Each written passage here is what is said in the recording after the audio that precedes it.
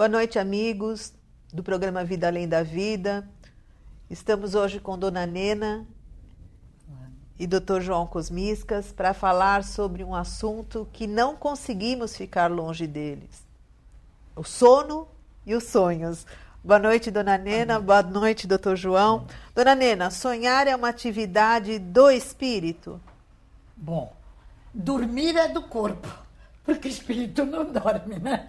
Agora, sonhar é diferente de dormir, porque nós sabemos que dormir o corpo dorme, descansa. Agora, sonhar, nós perambulamos, desprendemos. É, é comum dizer que é uma morte, é uma morte. Então, não pode ser do corpo. Como se morrêssemos todos os dias. Todas as noites um pouquinho. é um aprendizado ou é uma recordação. Doutor João, é, por que nós temos que sonhar? Por que sonhamos? Então, nós sonhamos porque a atividade da mente, que é o espírito, e não o cérebro, uhum. que é essa estrutura de carne, okay. ao desprendimento através do desdobramento obrigatório pelo sono, nós partimos para o plano, espiritual, ou o plano espiritual, não vão pensar que é lá do outro lado, lá no céu. O plano espiritual está aqui ao nosso lado. Sim. É uma diferença vibratória só, nada mais. E o nosso perispírito, que é o nosso corpo perispiritual, nos acompanhando a mente, permanece em constante atividade. A mente, o espírito não descansa nunca. Dona Nena fez uma afirmativa que os, os pesquisadores da doutrina podem dizer: ah, mas lá no nosso lar o André dormiu depois de, uma, de, de duas, dois dias de trabalho. Mas não vamos entrar nesse detalhe. O importante é que o perispírito dele, cansado, necessitava de repouso. A ideia é por que sonhamos. O espírito, em atividade constante, ele mantém as suas faculdades de sensibilidade abertas. E através do sono, essa sensibilidade do desdobramento se expandem.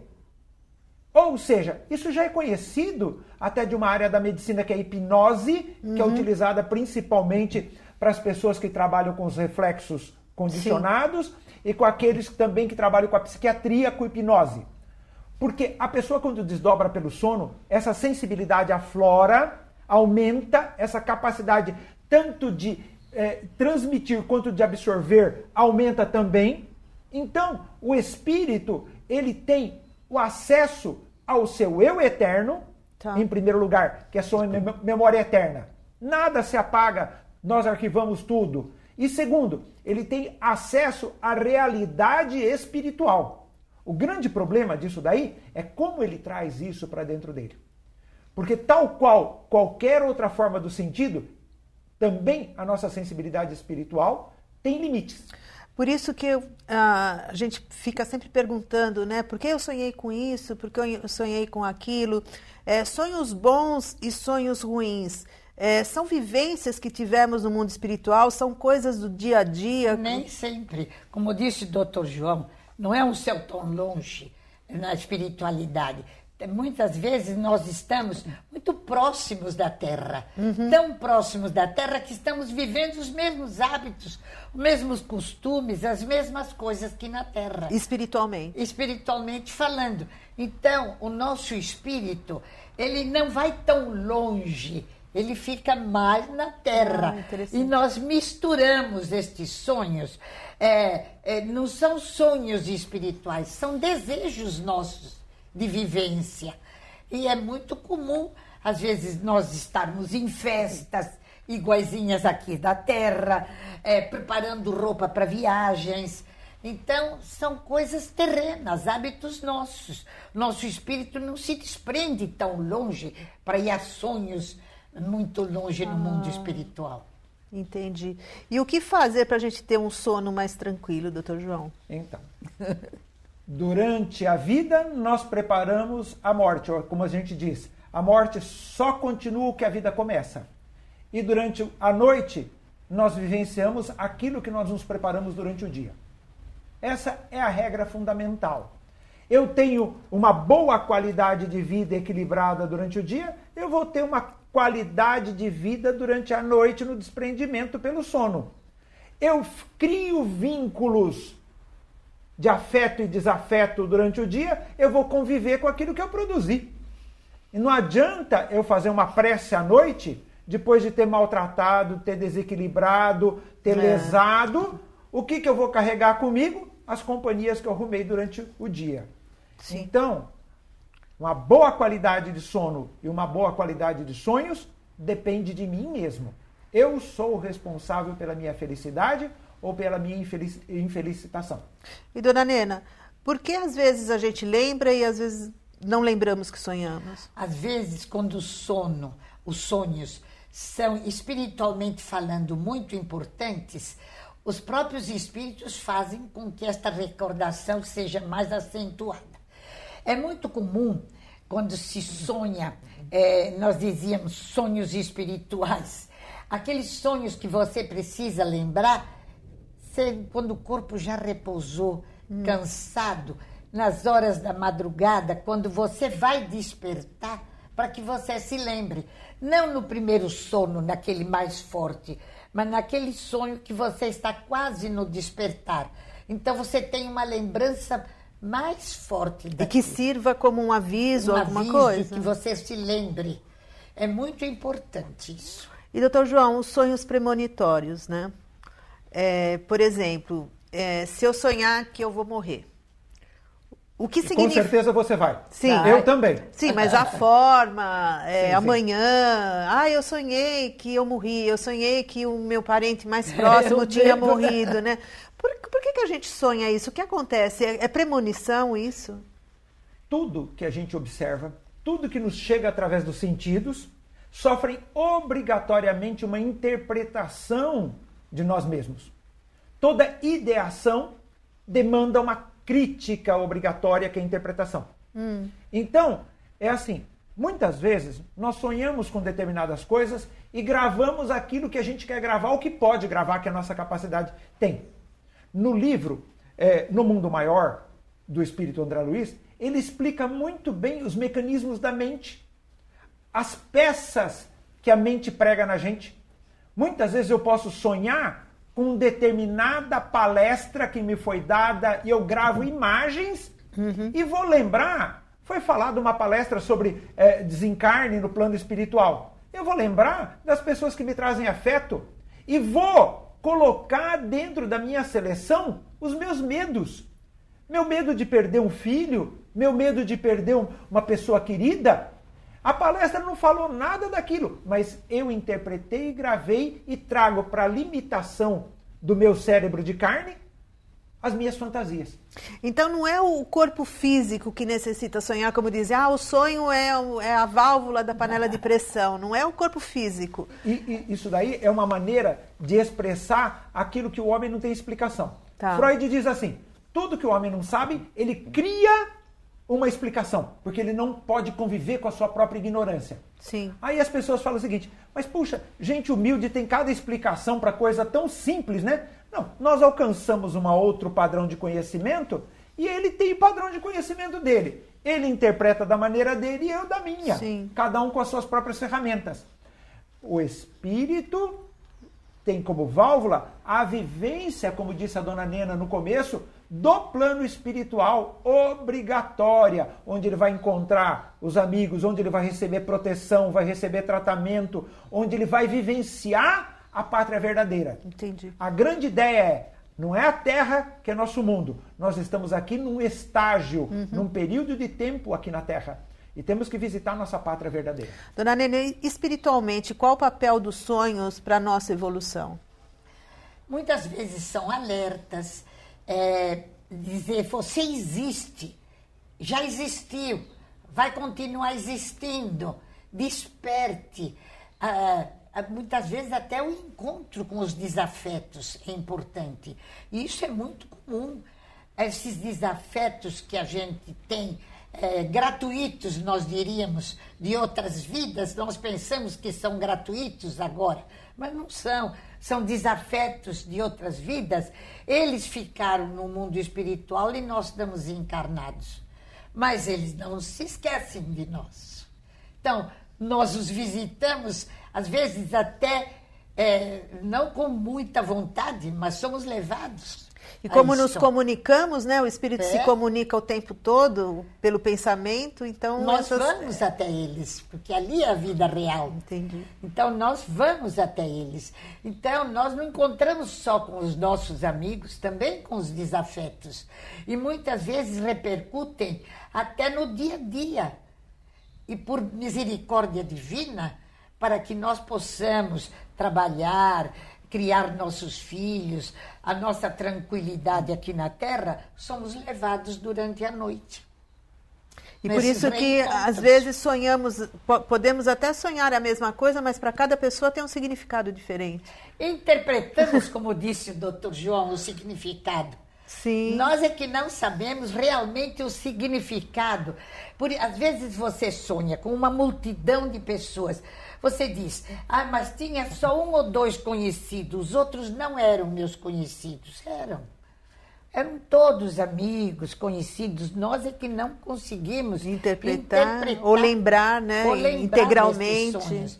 Tá. Muitas vezes eles aproveitam a que nós possamos sonhar, porque na tranquilidade do dia a dia é uma maneira de nós não estarmos em contato com estes espíritos Sim. durante o dia. Sim. Mas estaremos à noite. Mais uma oportunidade. Né? Mais uma oportunidade. De tudo isso que Dona Helena está falando, eu aconselho as pessoas a lerem o livro Entre a Terra e o Céu, do Espírito André Luiz, onde fala sobre um trabalho intercessório por uma prece. É. Onde se intercede sobre um grupo de afetos e desafetos que foi montado lá na Guerra Sim. do Paraguai. Sim. É muito interessante, esclarece tudo isso que Dona Nena falou. É, e... somos levados a grupos no mundo espiritual que nos esperam, é, é, virão reencarnar em nossa família, estarão perto como amigos e, e nós nos visitamos, são visitas. Assim como nós combinamos as visitas e as festas, nós também somos levados para estas festas no mundo espiritual. Lá também se faz festa. Também é festa. Ainda bem, né? Que bom. Promovem estes encontros em festas. Que bom que as festas Agora, continuam. É preciso se preparar para sonhar bem. Sim. O médium também tem essa faculdade. Sim, o sonho tem a ver com mediunidade, dona Tem, muito. Porque a mediunidade não é um desprendimento que você aprende a exercitar para entrar em contato com o espírito. Uhum. Ora, quando você dorme e ora, ou deita o corpo, e você tem vontade de ser convidado para estas festas espirituais, você é. É convidado, como não? Então você diz, ó, eu quero, eu quero frequentar, eu quero convidar. E você é convidado, seu espírito vai. Que Bom, coisa boa. Boa. Né? O médium tem que fazer esse aprendizado. Convidado a entrelaçar. Muito médium acredita que só pode ter contato com aqueles que desencarnaram através da comunicação de outro Não, médium. Da psicografia. Não é verdade. Psicografia, mensagem. Não é verdade. Querer não é poder. Procure convocar estas reuniões do mundo espiritual encontros durante o sonho são realmente maravilhosos. Colocar à vontade, melhor. né? O desejo. Lógico, uma mãe encontra com uma filha no mundo espiritual e ela está tão encarnada quanto ela teve aqui na Terra, é muito melhor do que ter o médium e perguntar para ele como é que ela está. Eu brinco quando vou é buscar mensagens lá dos espíritos, eu digo, faça força para sonhar. Mas eu não sonho. Sonha, queira sonhar e se lembrar. Queira sonhar. Deite, descanse, diz, ah, eu queria tanto me encontrar. Promove uma visita. Interessante, boa dica da dona Nena. O programa Vida Além da Vida tem o apoio cultural da Livraria Espírita União. Adquira estas e outras importantes obras na Livraria Espírita União sempre as melhores publicações espíritas do país. Livros de todas as editoras espíritas, descontos especiais para centros espíritas, associações, livrarias e clubes de livros. Livraria Espírita União, Avenida Rangel Pestana, 233, ao lado da estação Sé do metrô. E, doutor João, sonhos recorrentes então, são obsessões? Dona Nena foi clara ao deixar que a gente se encontra com os afetos, como também a gente se encontra com os desafetos. Porque nós sabemos que o amor une e o ódio imanta. Então nós não nos desvinculamos dos desafetos. Por isso é que Jesus disse para orar para os inimigos, para perdoar, porque aquele que perdoa liberta a si mesmo.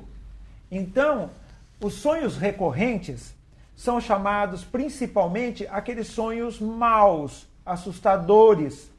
E os sonhos recorrentes, eles têm um aspecto de ligação própria ou de perseguição. Mas nós sabemos que nós sonhamos com o nosso próprio arquivo, como nós dizíamos Sim. inicialmente, ou com o mundo espiritual chamado objetivo, que para nós nós chamamos de subjetivo. Mas é objetivo, porque é uma realidade. Então, o sonho, ele faz parte da memória que nós carregamos, que nunca vai ser esquecida. Ela está lá no subconsciente, mas ela está lá guardada e viva. E eles dizem assim: dentro da, da doutrina espírita. É nos dito que o passado é vivo e a pessoa que comete um determinado crime, ela sempre volta ao local do crime. Se não é fisicamente, pelo menos espiritualmente, ela volta dezenas, centenas, milhares de vezes. Ou seja, vamos tratar crime como alguma coisa errada que a gente fez. E nós voltamos por um aspecto que nós cultivamos chamado culpa, ou estimulado pelo desafeto que faz a gente lembrar na marra. E aquilo para nós é desagradável. E ele se torna então chamado sonho recorrente desagradável que a gente tem. Sim. Aproveitando a, a sua resposta, e o terror noturno das crianças tem então, a ver com isso? É uma das formas de sonho recorrente obsessivo. Sim que pode ser ou não estimulado por um desafeto. Ele vai lá e me cobra: João, olha o que você fez comigo. E eu, sem saber quem é aquele que está me chamando conscientemente. Que o espírito está criança, fato, mas ele não é criança. Exatamente. Ele volta àquela recorrência negativa. Isso. Muitas vezes o espírito nem fala nada, como a gente tem descrito eh, nas obras, nas obras do André Luiz diversas vezes a simples aproximação do desafeto funciona como estímulo e invocativo evocativo uhum. e nós sofremos uma regressão com transfiguração revivendo o fato.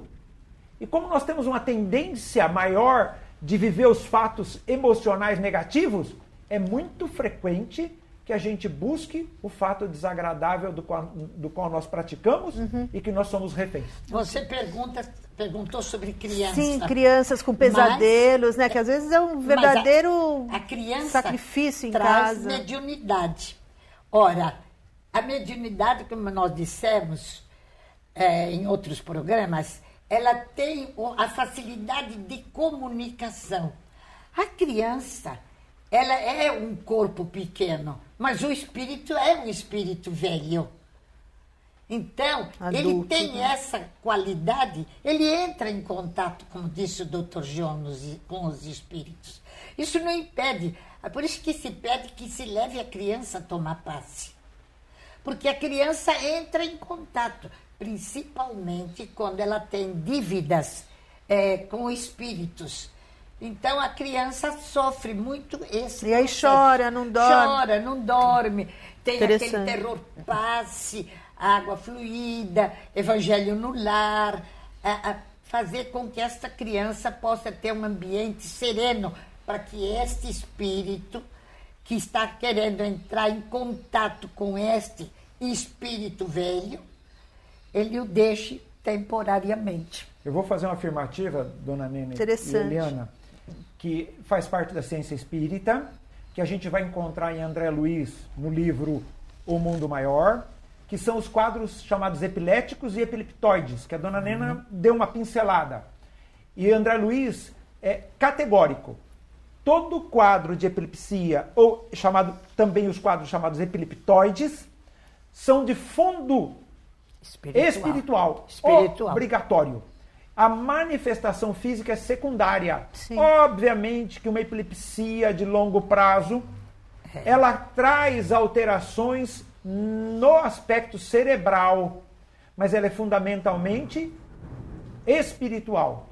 Por isso que a criança com terror noturno, muitas vezes, entra num quadro chamado epileptoide, ou e aí ele tem liberação de esfíncter. Aquelas crianças que têm enurese, é. ou seja, se urinam à noite tardiamente, uma criança de 10, 14 anos de idade que tem a enurese noturna, leva ao centro, faz tratamento, faz. toma o remédio do médico, mas ah, leva no centro. Leva. É de fundo espiritual. Espiritual. Nossa, nós muito interessante, visto, né? Nós temos visto muito tratamento aliado a crianças, por exemplo, com pediatras tra tra tratando, mas que não encharque a criança com, às vezes, muito tanto remédio de tarjeta preta, é. porque muitas vezes, é, sem aceitar, por exemplo, que há outro tipo também de tratamento, mas que não possa abolir totalmente a medicação, mas que pode ajudar também com outros tratamentos. Dormir bem não, não é? Dormir bem não é tão fácil. Não né, é tão fácil. A, ajudar a criança a, com outro tipo de tratamento Sim. nestes sonos é muito importante.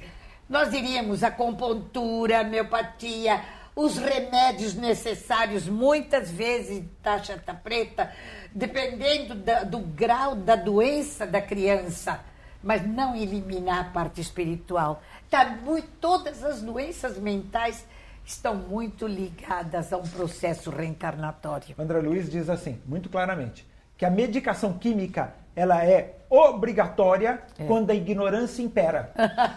Doutor João foi mais fundo. Agora, muitas vezes os pais, não aceitando, deixam a criança quase que é, sedada. Sedada. Isso. É mais cômodo? É mais cômodo. Eu dou meu remédio Mas... e a criança dorme é. e acabou o problema. Já... Mal ele sabe que prossegue no plano espiritual e muito. Muito. Já vimos Com consequências futuras. Superativas que poderiam ter outro tipo de tratamento mais tranquilo, ficarem sedadas. Isso não é o suficiente. E mesmo os adultos, né, dona Nena, muito problema de sono, né, de sonho que é, é. é resolvido o às vezes na medicação. natural é tranquilizador. Como ter um bom sono, dona Nena? Vivendo bem. Vivendo bem. Olha, bom, dizem... Qual o papel da prece nesse mas, é, momento? É, o que, que a gente dizem... pode fazer para melhorar esse quadro? Mas dizem as pessoas que às vezes aqueles de consciência pesada também dormem muito bem, porque dormem em cima do ouro e do dinheiro. Só que o colchão fica na terra. Então, este dormindo em cima do ouro e do dinheiro não é um sono bom, tranquilizador. É a consciência. No mundo espiritual, ele deve estar se encontrando com seus amigos menos evoluídos. Né? Dona Nena, tem uma, uma situação que dizem que determinado indivíduo, confrade nosso, chegou para o Chico e falou assim: Mas Chico, a gente trabalha no centro, faz prece, se prepara e tem tanto sofrimento, tanta dificuldade na vida, o outro lá isso, só faz coisa errada isso. e para ele tudo vai bem, ele dorme bem, ele vive bem. Ele falou assim: a nossa diferença é que nós estamos colhendo, eles estão plantando. e qual a diferença uh, de nós termos é, um bom sono, é, sabendo da espiritualidade? Porque às vezes também quem ao medo, né? Quando você pensa que você tem. Muita gente tem medo de espíritos e por isso não dorme à noite.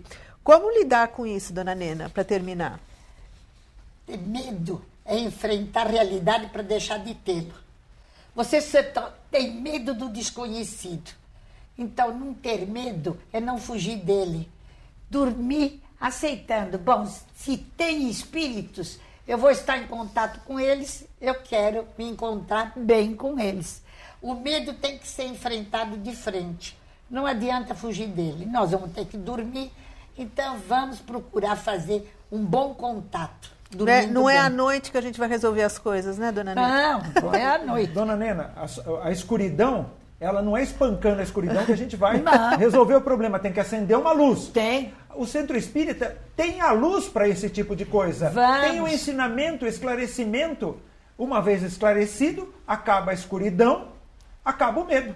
E eu acho o seguinte: muita gente na casa espírita vai com problema de sonhos. Sonhos de todas as espécies de proféticos que vai acabar o mundo, que vai acabar junto, que vai morrer pai, que vai morrer mãe. Tudo acontece dentro das leis divinas. Não adianta se desesperar e dizer: "Ah, porque eu sonhei, porque o outro disse, que aquele disse, que o outro disse". Você está sonhando com às vezes o impossível.